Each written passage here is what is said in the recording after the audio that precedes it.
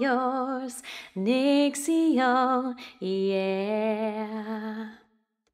One happy birthday dot com.